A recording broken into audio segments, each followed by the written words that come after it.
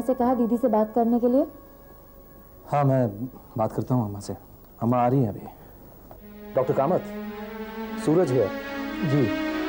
Thank you doctor साहब। Thank you Suraj? अम्मा मैंने डॉक्टर साहब से अभी फ़ोन कर बात कर ली वो आधे घंटे बाद एक बार आकर बाबूजी को देख जाएँगे। वो ठीक है। तो तू दफ्तर से सीधा आ। मुझे बहुत घबराहट हो रही है। मैं आ जाऊँगा। अम्मा मैं जल्दी आ जाऊँगा तुम घबराओ मत। मैंने पुलिस स्टेशन जाकर रिपोर्ट भी लिखवा ली पुलिस आज ही फैक्ट्री के मालिकों से पूछताछ करेगी। तुम अपना ख्याल रखो। अच्छा मैं चलता हूँ। भैया? और हाँ आप तेजस्विनी से एक बार बात कर लेना। कल रात से वो अपने कमरे में मुजरिम की तरह बैठी हुई है। ना कुछ खाया ना कुछ पिया। बस सारी रात कुर्सी पे बैठे बैठे बिता दी है दीदी ने। अच्छा मामा चलता हूँ। कोई बात हो तो मेरे ऑफ़िस में फ़ोन कर लेना हाँ? लेना दीदी से प्लीज़ वो वैसे ही बहुत गिल्टी फील कर रही है। तू थोड़ी देर जाकर अपने बाबू के पास कर मैं कर लूँगी जो बात मुझे करनी।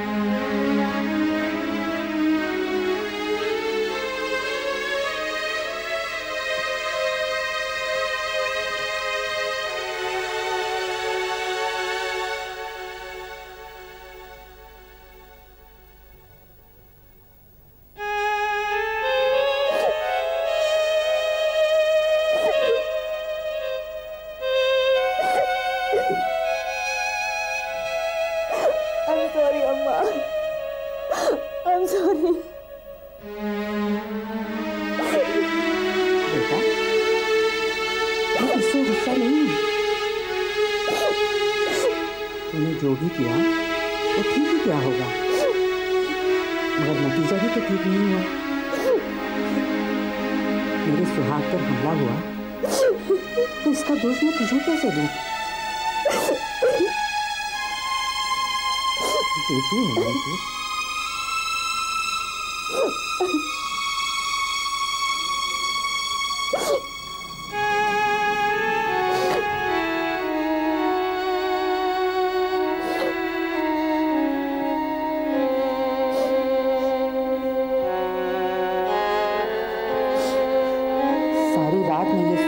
सोच सोच परेशान रही कि तुझ पर क्या बीत रही होगी।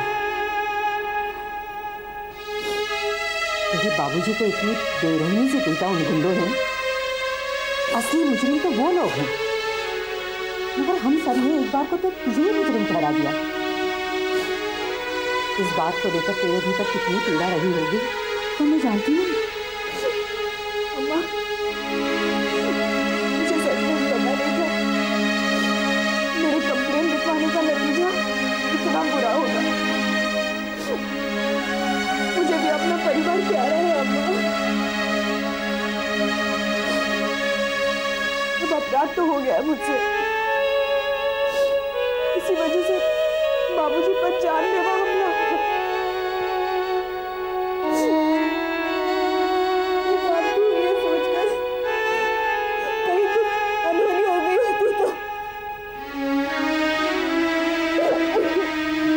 जो कुछ होगा वो सब उसकी मर्ज़ी से होगा। वो अपने सर में इल्ज़ाम मत ले। बस अपने को इन झंझटों से दूर कर ले। ये पहले अपने परिवार की खुशियाँ देखनी है। ठीक है ना ठीक है मैं कंप्लेन वापस ले लूँगी। बस तो अब मेरे दिल में भी तेरे लिए कोई मना नहीं रहा। चलो अब तैयार होकर बाहर आ। मैं बनाती हूँ कुछ नाश्ता रात किसी ने कुछ नहीं खाया। चलो वरना कॉलेज से देर हो जाएगी तुझे।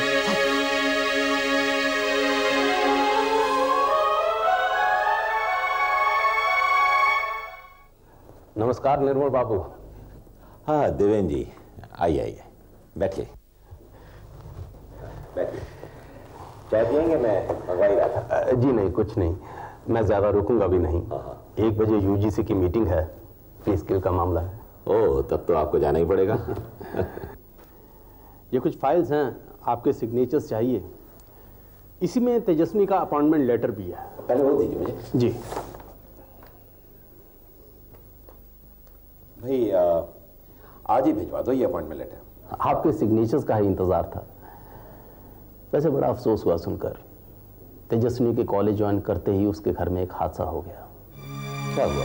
वही बंसी वाला केस उसने मुझे आज ही बताया कि उसके घर पे धमकी भरे फ़ोन आ रहे अब पता नहीं कौन है वो लोग जो भले आदमी की जान लेने का विचार हो किसकी बात कर रहे हैं? कल रात तेजस्वी के पिता पर कातिलाना हमला हुआ। और वजह वही कंप्लेन जो तेजस्विनी ने बस्ती वाले लोगों के साथ मिलकर पुलिस में दर्ज कर। क्या कह रहे हैं तेजस्विनी के पिता पर कातिलाना हमला हुआ बस जान बच्ची नहीं समझी तेजस्विनी ने तो फैसला किया है कि वो अपनी फैक्ट्री वाली कंप्लेन को वापस ले लें। और इसमें मैं तेजस्वी को दोषी नहीं ठहराता आज के इस बढ़ते गुंडा राज में एक आम नागरिक अपना कर्तव्य कहाँ तक निभा सकता है?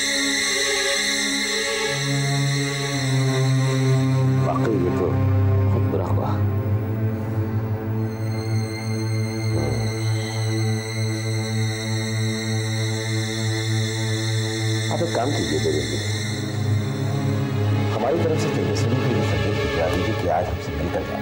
जी। हम खुद उसे ये अपॉइंटमेंट दे देंगे और मुझे सांत्वना की दो शब्द कहने का मौका मिल जाएगा ये आप बिल्कुल ठीक करेंगे। इससे कम से कम उसका मनोबल भी बड़ा रहेगा।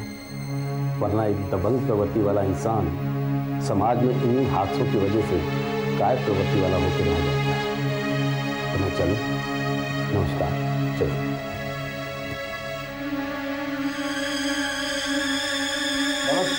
नमस्कार जी। नमस्कार। भाई हम आए और आप जा रहे हैं तो ठीक बात नहीं। एक ज़रूरी मीटिंग है। हाँ तो पान तो खा करके जाइए एकदम टनाटन बनवा के लाए। जी धन्यवाद मैं पान खाता नहीं। भाई कोई ना कोई लत तो होनी चाहिए। कोरा इंसान अच्छा नहीं लगता है नहीं निर्मल बाबू? मितवा देवेंद्र जी का टाइम खराब मत करो उन्हें देर हो रही है जाने दो उन्हें।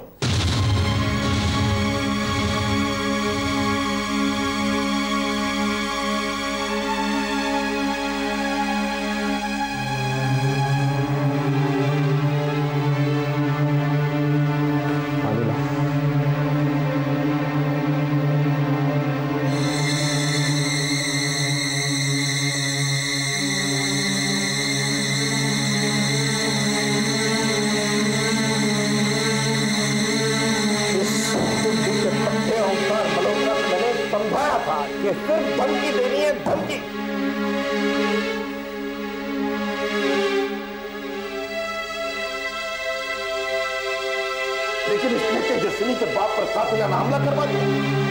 इसीलिए सुतरी वो भी बिगड़ गई। अब करो बैठ का कीर्तन।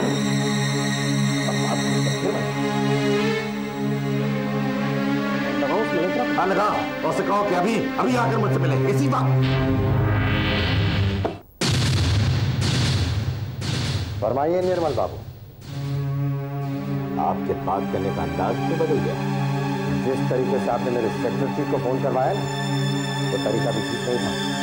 मैं चाहता तो यहाँ आने के लिए मना कर सकता था लेकिन मना न करके आपने बड़ी समझदारी का काम किया क्योंकि अगर आप मना कर देते तो आपको बुलवाने के कई सारे तरीके थे हमारे पास। ओंकार मेहमान नवाजी के तरीकों की बात कर रहा है। हम कभी भी उस घटियापन पर नहीं उतर आते, जिस घटियापन पर आप कल रात उतर आए। अरे तो क्या हुआ? आप ऐसे क्यों बुला रहे हैं, जैसे हमने आपको किसी खास आदमी पर हमला किया। जी मुझे तो कभी कभी आपकी बुद्धि पर तरस आता है। तो जिस शख्स को आपने अपने गुंडों से पिटवाया, वो शख्स उस लड़की का बाप है जिसने कंप्लेन लिखवाई है। आप ही का था मशवरा सिर्फ़ धमकी तक था। अब आपकी डिक्शनरी में धमकी का मतलब मारपीट होता है तो। भैया जी अपनी जबान को लगाम दो तो अच्छा रहे। ओंकार जी ये अपनी जबान को लगाम दे देगा। लेकिन इस हादसे के बाद अगर हमारे कॉलेज के लेक्चरर ने आपसे लड़ाई लड़ने की ठान ली तो फिर मैं कुछ नहीं कर सकूँगा। इस बात पे भी गौर कर लीजिए। डंडे की मार खाने के बाद थोड़ी सी रुपयों की मार भी पड़ जाए तो असर खत्म हो जाता है आप कहें तो मैं रुपयों की बरसात। मैं खुद खून खराबे के पक्ष लेकिन ना मेरा बेटा थोड़ा जज्बाती। गरम खून रहता है इसलिए वो अपने बाप की हार को बर्दाश्त और इसीलिए कुछ ऐसा कर गया जो आपको लेकिन बाबू आपके व्यवहार में मुझे कुछ अलग सी कम और इसीलिए दो टूक कह रहा हूँ। इस लेक्चरर को रोकना आपकी समस्या है। अगर मेरी फैक्ट्री को किसी भी सूरत में कुछ हो गया ना, ज़िम्मेदारी आपकी रहेगी। ओंकार जी, आप शिकायत कर रहे हैं या धमकी दे रहे हैं?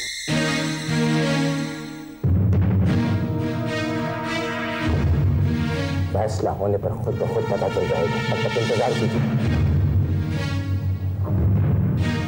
निर्मल बाबू। आप भी इस बात पर ध्यान आपके कहने पर मैंने लाखों रुपए यूँ ही फिजूल में नहीं बहाए हैं। अगर आपको याद नहीं हो ना तो भैया जी को पूछ लीजिए। रुपए लेने तो यही आते भैया जी की याददाश्त के सारे बटन निर्मल वाले हैं। जब जब जो जो बटन दबता है तब तब वो हो जाता है। ताज़ा हो जाती है। फ़िलहाल तो म्यूट का बटन दबा हुआ है इसलिए आप जो भी सवाल पूछेंगे आपको हमारी आवाज़ में सुना मैं कमी सर। तेजस्विनी आओ। आओ। ओ तो ये है तेजस्वी।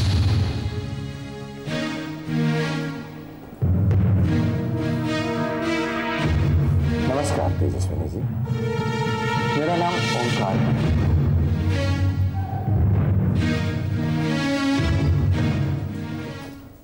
निर्मल बाबू आप अ, मेरे एक परिचित हैं। तुम बैठो। मैं तो चाय वाय अ, नहीं नहीं निर्मल बाबू। मुझे बाबूजी के लिए दवाइयाँ लेते हुए घर पहुँचना है। हो हाँ बहुत अफसोस हुआ सुनकर। देवेंद्र जी ने बताया था।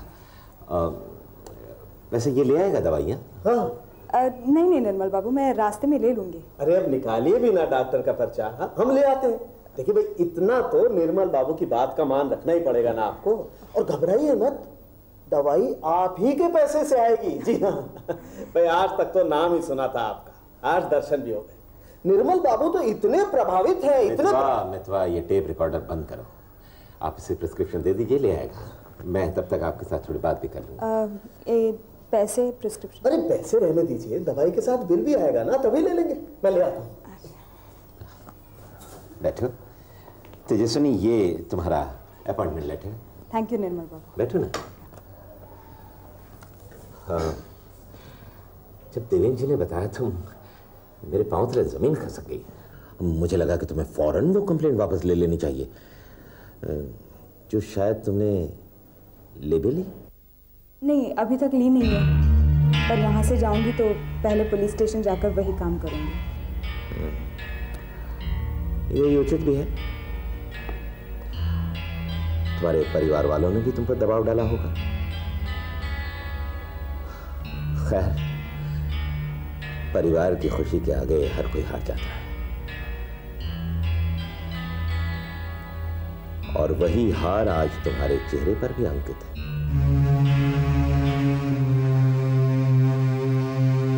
जब स्थिति तुम्हारे नियंत्रण में तो तुम क्या कर लोगे? हालाँकि, जीत हासिल करने की राह में यही बाधा है। ये भी लोग हैं, परिवार की खुशी। समाज तुम्हें एक नायिका के रूप में देखना है। लेकिन परिवार की खुशी का कुछ और ही है। और समाज को आज आवश्यकता भी है, तुम जैसी दबंग नारी। लेकिन परिवार वालों के जज्बात कुछ और हैं। उन्होंने तुम्हें भी जज्बाती कर दिया अपने जज्बातों की परवाह न करके अगर तुम अपने अंदर की आवाज़ का गला न घोंटती तो तुम आज अपने लिए ही नहीं, बल्कि समाज के लिए एक ऐसा उदाहरण बन जाती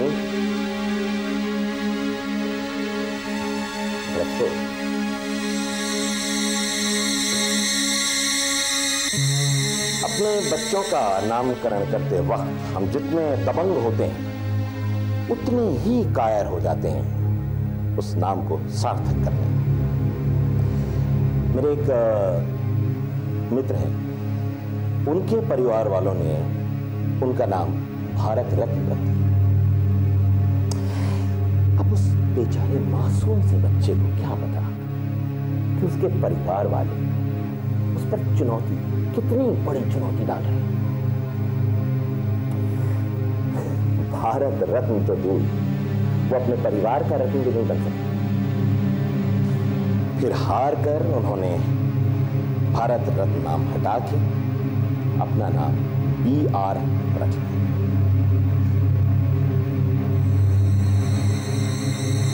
तुम्हारे नाम ने ही मुझे पहले प्रभावित किया। और तुम्हारे नाम के तेवर मैंने तुम्हारे व्यक्तित्व में देखे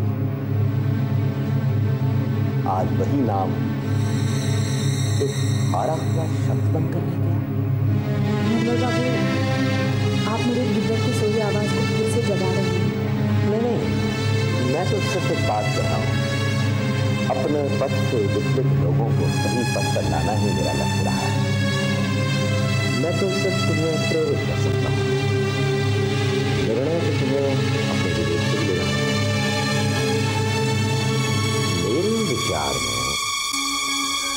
फैक्ट्री बंद होने के सरकारी आदेश आने तक तुम्हें अपने निर्णय पर रहना लेकिन जब कल के हादसे की सोचता हूँ तो मुझे लगता है कि ये तुमसे हो नहीं पाएगा।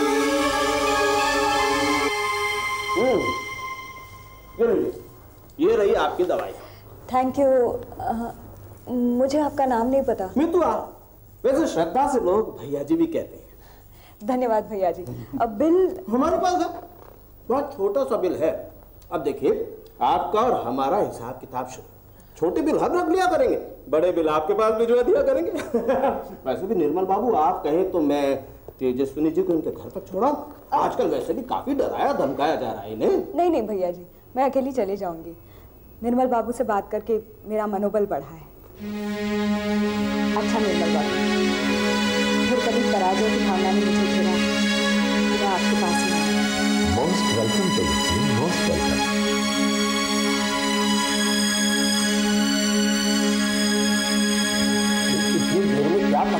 दिया आपने लगता है पटरी से उतरी रेल को फिर से चढ़ा दिया आपने हम तो रेल की पटरियाँ बदलने वाले कुशल लाइनें अब देखना यह है कि ये रेल हमें अपने मकाम तक पहुंचाती है।